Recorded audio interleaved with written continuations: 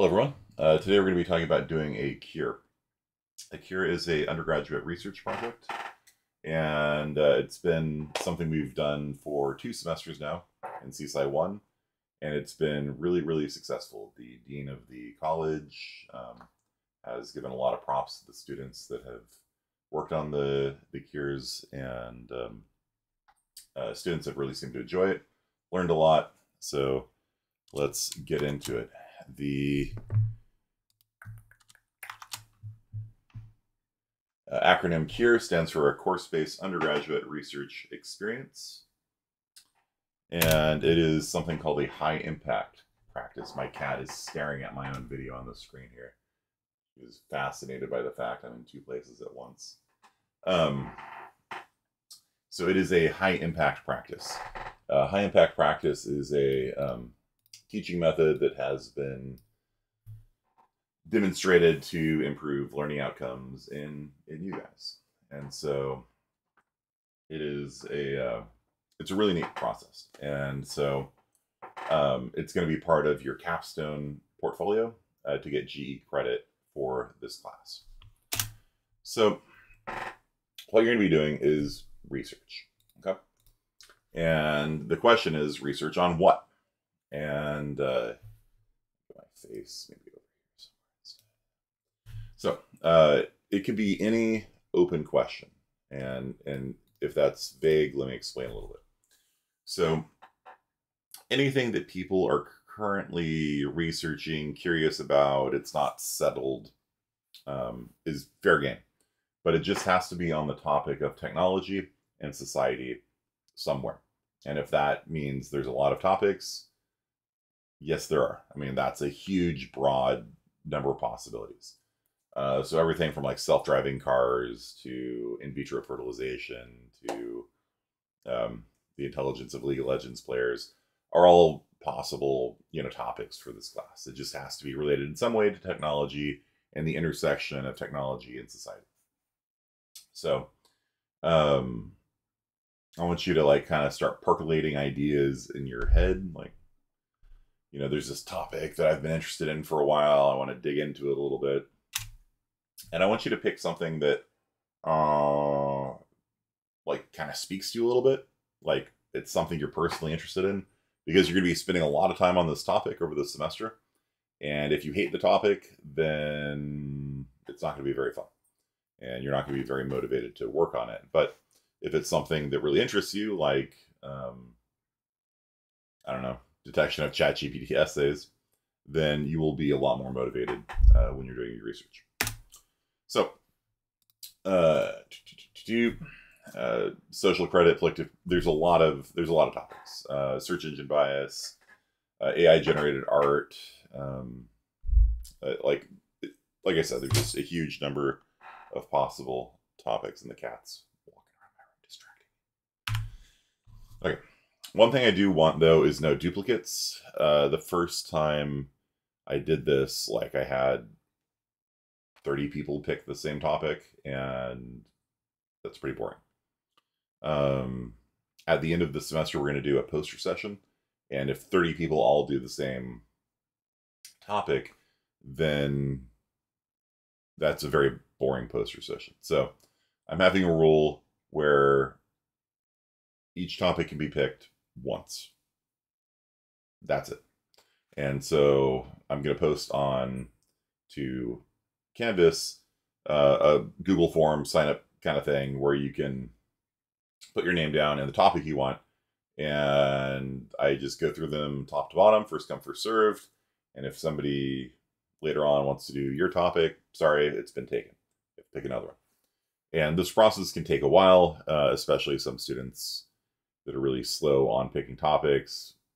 You know, when they're trying to pick a topic that 120 other students haven't picked yet, um, can kind of take a while. So I recommend jumping on it as quickly as possible, or just come up with a interesting idea that is kind of unusual. Like um, one of the winners last year was studying uh, the intelligence of bilingual people, something like that. So uh, basically, giving tests to people that were raised bilingual versus people that were raised in a single language family and IQ testing them and things like that. Um, nobody else picked that topic, so it was very easy to be like, check. Yep. Sounds good. Um, you also can find like if you want to do like a lot of people want to do like Twitter, like you know what are the effects of Twitter after Elon took over. Um, you can find different like parts of that that uh, are different from other people. So, uh, you know, there's a widespread claim that, you know, hate speech uh, went up on Twitter after Elon took over. Uh, another person could study the amount of advertising on it. Uh, another person could study if the topics on Twitter changed. You know, there's there's different facets of every topic, and you can just kind of find your own niche on that. And if your topics are uh, like not related to technology and science, I'll reject them. Like if you want to study, I don't know, if Q-tips have gone downhill, I'm just staring at the first thing that I see on my, uh, you know, table here. Uh, are cats more intelligent than dogs? Like that's not, you know what I mean? It's not like not really um, technology related. So um, you have to find some, you know, intersection of technology and science, and it's all reject topics that aren't on that. This is a computer science class, and so we do something you know related to to it. Um, we had several last year that were on um, early childhood education and technology. It's like people using tablets to um, educate, like not educate, like babysit their kids. Like, hey, youngster, here's a tablet. Go, not bother me, you know.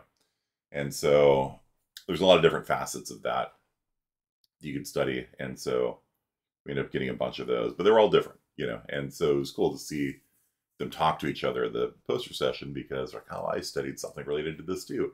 What did you find? And that's a cool experience, you know, especially because traditionally speaking, freshmen and sophomores, which is most of the class here in CSI one, don't do research. Um, research is traditionally considered to be an activity for grad school students, sometimes seniors, maybe juniors. Um, it's it's mostly the grad students that actually do research, and doing something as a freshman is like mind blowing to um, a lot of the the college professors here and stuff like that. And so it's a it's a really good experience. It's it's it's going to be it's going to give you a taste for what research is like. We're not doing like a full research class here because we got other stuff to learn in critical thinking. But it'll it'll hopefully whet your appetite for like what the research process is like. You'll get to go to a research like um, poster session, which is kind of cool, and walk around and talk to people and see other people's research, which is a big part of like academic um, activity. So like if you you know go on and study uh, like my wife did the the impact of stress on blood coagulability. Um, you go to like the American Psychosomatic Society, and there's all these posters, and there's like, oh my, oh look at this. There's like five or six others that are on stress, the effects of stress. You know, and you get to like talk to the authors, like, oh, I read your paper, and, and that those interactions is like a big part of like how research works in America, and especially as college freshmen, and sophomores, none of that is. It's like a completely different world you guys. And so this project is going to like give you like that little taste of like what the research world is like and how it's like kind of fun and um, hopefully like encourage you to do research later on in your life. Okay. So uh, the first thing we're going to do is you're going to pick your topic and I'm like I said, I'm going to kick out any that are duplicates or aren't related to technology and society. Um, then we are going to go through and refine the topics. And so basically, you're going to generate um, a research question. And it can't just be like, you know, is technology bad for kids? That's a bad research question. I mean, it's way, I mean, it's way too broad. I mean, maybe at like the absolute highest levels of analysis. No, like what, what, that's too, like, what are you, what do you, what technology? Right? What what kids are we talking about? Um, are we talking about tablets? Are we talking about phones? Are we talking about video games, Are we're talking about computers. And then on a computer, what software, um, what age range, what do we mean by good? Uh, are we talking about grades? Are we talking about developing ADHD? Are we talking about, um, you know, them learning specific like math skills or English skills or hand-eye coordination? Like what, like, is technology bad for kids? Is just a bad topic. What you need is to make your topic smart. And we're gonna, you know, you don't have to do this right now. All you have to do right now is just pick a topic. That's your only, it's your only task right now for this. We're to do this after everybody gets their topic. Then we're to refine them and we're to make the topics smart. And so SMART is an acronym standing for specific, measurable, achievable, realistic, and time bound. Uh, so specific would be like you'll you'll hear me, like when I come back to you, I'm going to be like, when you say technology is bad for kids, you know, what technology? What do you mean by bad? What age range for kids, right? And so students will come back and be like, I'm going to study the effects of tablets on children in the range of two to four years old. And by bad, I'm talking about their emotional regulation. Cool. So that's specific, right? Like, like I'll just ask you, like, what do you mean by, you know, this? It, like, you have to give me a very specific number because children's do wrong. Like, a, a zero year old is very different from an 18 year old. You know what I mean? Like a two year old is very different from a sixth grader. Like there's a huge, massive like amount of growth in kids. And so if you just say kids, like, you know, it's way too, way too broad usually. Okay, measurable. So your topic has to be something that you can quantify. And um, usually this means being able to get numbers. Not always. Like you could do like interviews with people and do you know, there's quantitative numbers and qualitative, just like words and feelings. Like you can do both kinds of analysis. I would recommend though having something where you can actually get a number and be like, all right, I'm going to be studying the effects of the Oregon Trail video game. That you guys, if you don't know what it is, you know, look it up. It's an old video game that's been re-released a bunch of times. I'm going to study the effect of the Oregon Trail video game on American history, uh, content knowledge, in fifth graders. And uh, I'm going to, to make it measurable, I'm going to give them a pretest. And uh, then, then they're going to play Oregon Trail, and I'm going to give them a post test on the topic of westward expansion in America. That's measurable. Now, you might be like, wait, am I going to have to make a pretest and post test? No, no, no. We'll, we'll get to that a little bit. But you, you can find other people who have done this. Like all I'm saying is that for this project, it's really nice to be able to get a number where you can be like, beforehand they scored 30%. After they played Oregon Trail, they got a 70%. So that was a 40%, you know, difference. Um, so measurable means, you know, it's something you can actually assess. Okay. Achievable, uh, students can, for example, um, go up. You know, like if if all of them were testing 100% prior to the test, can't show any growth. So, um, yeah, for Oregon Trail, um, you know, make sure that, you know, the test is something that's at their reading level, for example. Uh, realistic means that you can actually achieve your um, your goal here uh, by the end of the semester, uh, and this relates to time bound as well. Um, so time bound means like over what period of time are we talking about? Like we're gonna have the students play Oregon Trail for one hour or something like that. But realistic uh, and time bound also go together in terms of like how long you're gonna spend on this project.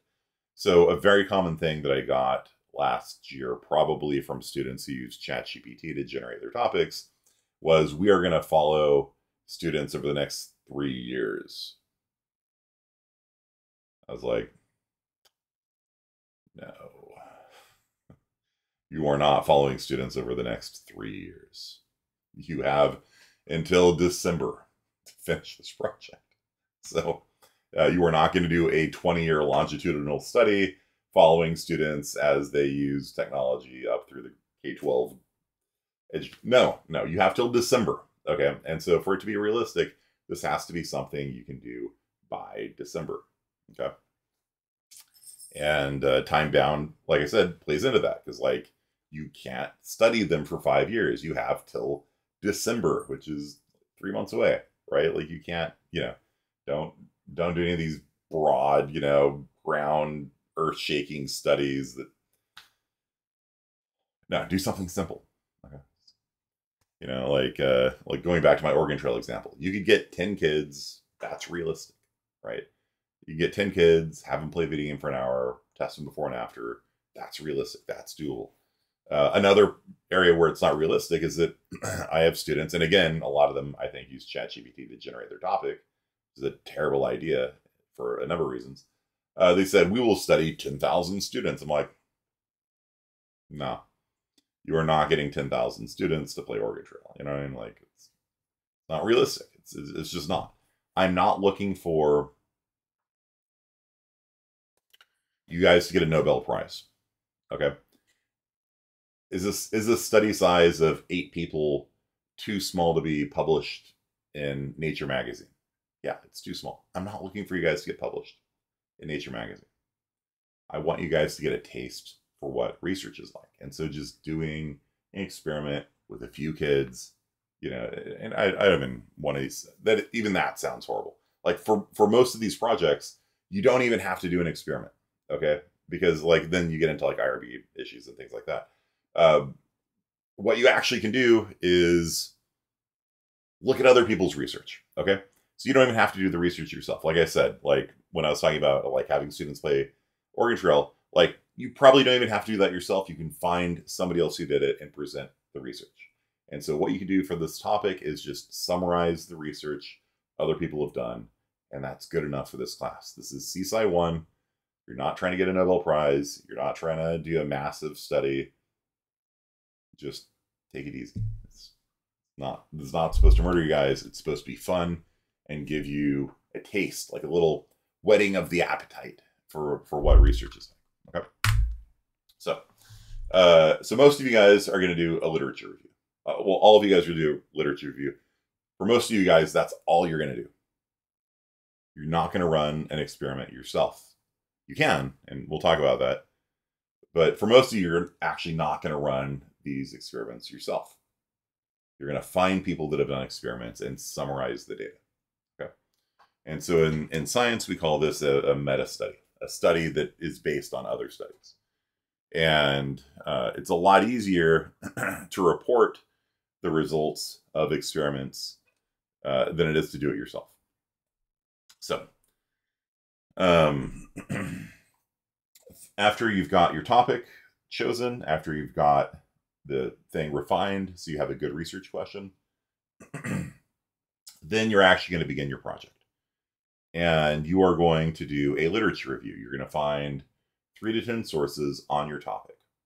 So if you're studying the uh, effects of bilingual uh, education on intelligence, I keep using these intelligence things. It doesn't have to be the problem with giving examples is that students latch onto it and then they all pick it. And so by talking about bilingual education, you know, there's odds are I'm going to get like 30 people wanting to study, you know, the effects of bilingual education on intelligence. And um, that's just a problem with giving examples is that seems like, ah, that sounds good to me. I'll do that. No, no, pick your own. Pick, pick your own topic. Okay. And, uh, and so what you're going to do is, uh, but I'm just going to use the bilingual as an example. You're going to find three to 10 examples uh, in the literature of people who have studied this topic. And you're going to make sure they're relevant. You're going to make sure they're credible. Uh, you're going to assess their bias. For example, if the studies are coming from an institute that does bilingual education, they're they're probably going to be very pro bilingual education, right? So you have to you have to assess all these things, and um, and the quality. Like, you know, what is their study design a double blinded randomized control trial? In social sciences, they're usually not. Um, you know, people usually know if they're getting bilingual education or not. You know, it's like, well, I don't know if I'm in the experimental group. Are they talking to you in English? or two languages? Like you can't hide the fact. You can't hide the fact. You know, little Timmy's in a bilingual. Do you guys understand what I'm saying? Like, um, you know, so in social sciences, like you know, humans are not like, you know, chemicals in a test tube that, you know, like, that just you know, like you know, in social sciences, it's it's a lot more rare to actually find a good, high quality, double blind, randomized control trial you find that more in the harder sciences. Um, like if you're going to do a drug trial, then yeah, you don't tell people, you know, are you getting the the real drug or are you getting the fake placebo? Uh, but you know, if you're doing bilingual education, there's no way to hide the fact you're either getting bilingual education or monolingual. Yeah. Okay, so uh, you're going to be given several weeks to do the literature review. You've got to find a bunch of sources on your topic three to 10. Uh, you're going to assess them on these four different points here. Submit them to me. I'm going to look them over and make sure that uh, everything looks good on that front. Uh, you will post this on a Canvas discussion forum. You're going to peer review two other people's and look at the references and make sure that their references are relevant, credible, etc., etc. So you're going to uh, you know, basically double check other people's work, which is part of science. Like I do peer review uh, every year. Do I get paid for it? No. Why do I do it? I don't know. I, I, guess because it. I, I guess because doing peer review like keeps me up to date with the latest research and stuff like that. Um, Really, though, it's just because it's my responsibility. Arguably, maybe not. I don't know. Um, you come here to talk about double blind randomized control trials, Julia? Yeah. Meow. You want to say hi to my students? Julia? Is that door too interesting to you? Um, so my daughter wants to do a, uh, a science project on uh, cats because we have a cat now. So, um, yeah. So what you do when you do the peer review of the other students is you uh, are getting um, experience doing peer review. Peer review is when scientists look at other scientists' papers and read them over and make sure they're following proper scientific methodology and um, looking at their literature review and making sure they did their uh, their job. You know, uh, citing papers that should be cited, um, having adequate references, things like that. Like, you guys are just gonna get a little a little feel for it. Again, all of this stuff is just to kind of like give you a little taste of what the science world is like. Come on, cat. Are you leaving me?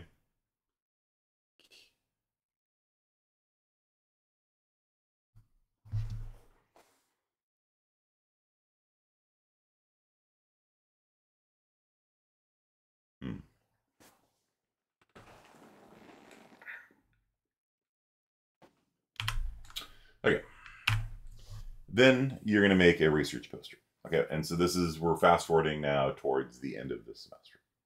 So at the end of the semester, the big thing is you're going to make a research poster. I have some examples that I'll show you in a second. And the research posters uh, are like your final like um, presentation, basically. Like this is where you're really being assessed on your work. And uh, uh, it's worth more points than the other sections. Um, that reason, some students wait to the last minute and really half-ass a research poster, which I don't recommend because the dean of the college comes in and he looks at every single one of them. Like we were expecting him the first time we did this a year ago. Uh, we were expecting him to just kind of come in and just be like, "Oh, hi, you know, nice to meet you guys." But he was like, "Oh, this is really interesting," and he actually like walked around. He's like, this is really cool. And he's like talking to all the students and looking at their posters. And so um, put some time and effort into it, you know, because you're, you're probably going to get quizzed on it by, you know, the dean of the college, the um, department chair of the computer science department always comes to it and talks to people and gets really interested in stuff like that. So uh, we'll we'll we'll run you through making the research poster later on. But basically, let me show you guys what this looks like. Um, so the, these examples here are like what um, like real scientists make. So if you go to a poster session for like a actual academic research conference, they have these like lay flat posters. They have different sections on them, and all of them feel like this kind of like this is kind of the the generic kind of look to a research poster.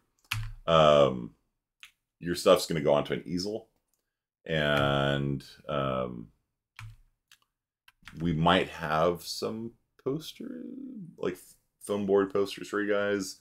I'll have to double check on that. Um, if not, Dollar Tree is just around the corner, and you can get two posters for one dollar. So um, I apologize for making you spend fifty cents. So here's an example. Um, so you can see here, we don't need you know you to go to like FedEx office and spend three hundred dollars professionally printing and laminating a poster. Now this, this is fine. Okay, we're we're not uh, again expect you guys to get the Nobel Prize or any of this stuff. Just this is fine. Now on the right hand side there, that one's like yeah, like a little bit too little. Uh, but th this one here. So what we have here is we have the research question front and center. Uh, do League of Legends players have a higher IQ than those that don't play? Okay. He's got a hypothesis, what he's expecting to find. Uh, on the upper right, he talks about his methods. This is how he went about doing it. He's got his findings there, his conclusion. The flow of the poster is a little bit weird. Like I would probably lay it out differently myself. Uh, then he's got his uh, he's got some graphs and tables, you know, showing his results, um, and then his references, you know, the works done in the bottom right corner. And that's it. He got an A. Like like you can tell he didn't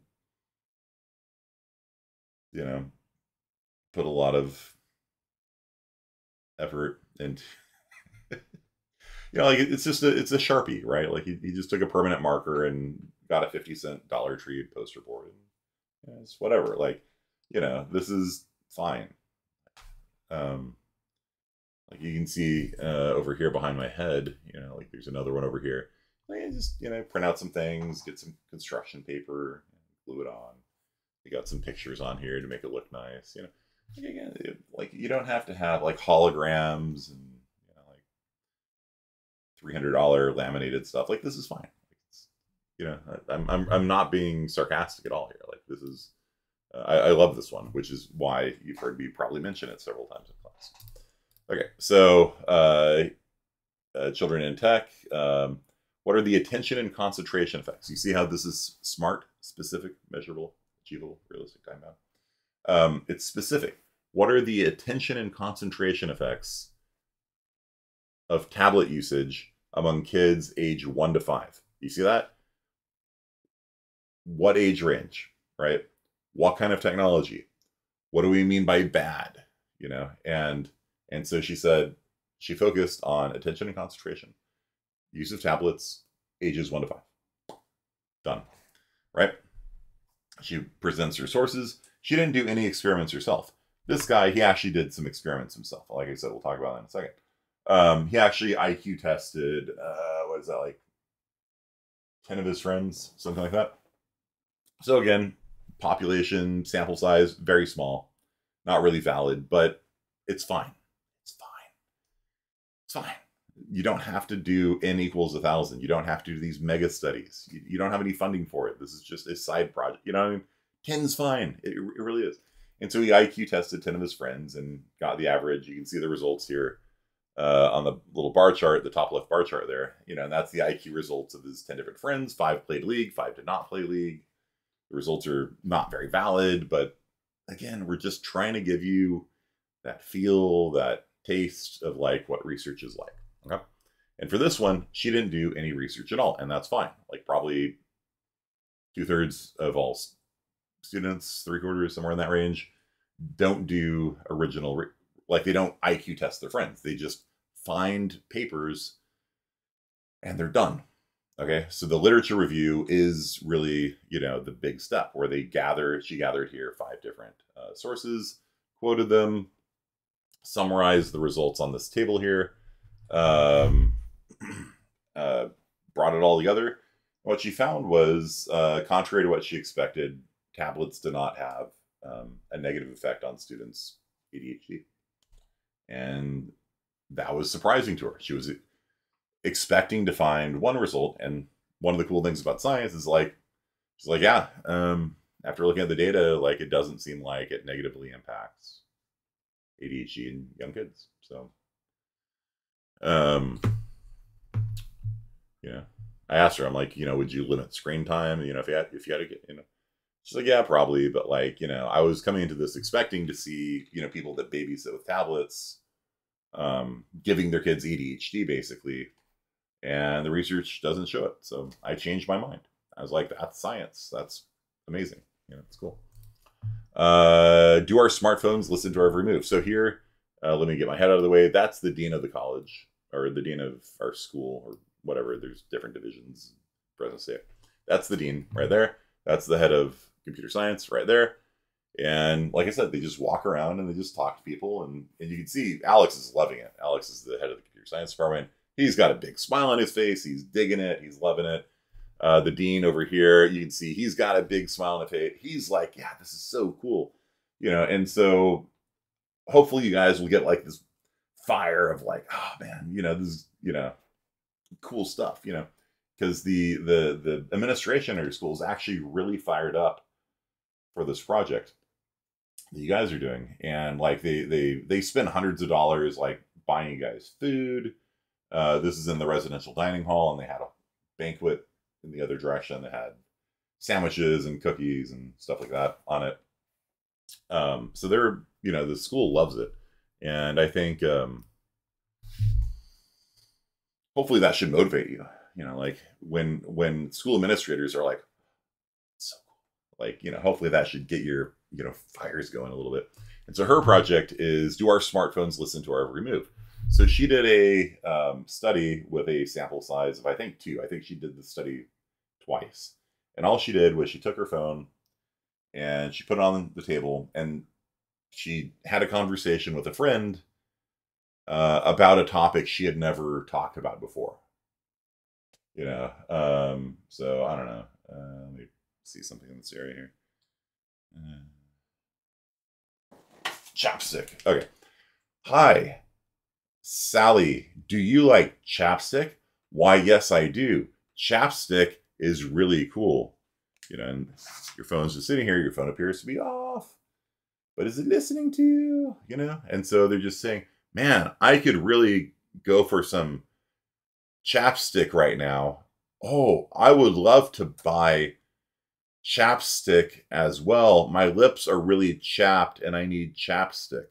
And then what they do after they, you know, talk about it, then they're like, all right, let's uh, let's go on to uh, Facebook here and, uh, and start looking at ads on Facebook. Berkeley uh, Chief Technology Officer Program, which, I mean, given the fact I've been talking about technology, maybe they are listening to me. Let's see here. Next ad, next ad, next ad. Uh, Top Heroes Kingdom Saga video game ad. Do next ad Adafruit Electronics, again technology related. More electronics ads.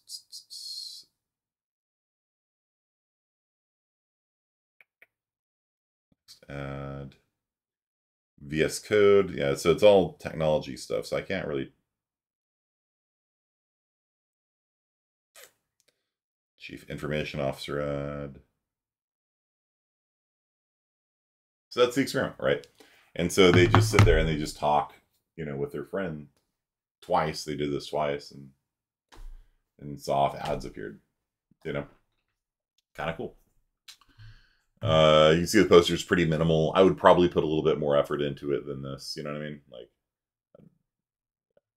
punch it up a little bit. But it's. It's cool. Um, so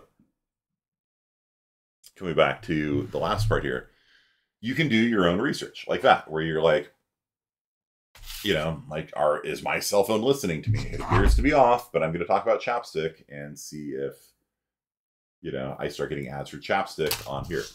Uh, the other day, I was talking to a friend of mine about uh, Dead Poets Society and Robin Williams movie that came out 30 years ago. And then on Facebook, I got an ad for "Oh Captain, My Captain," which is a poem that appears in the Dead Poets Society, and I was just like,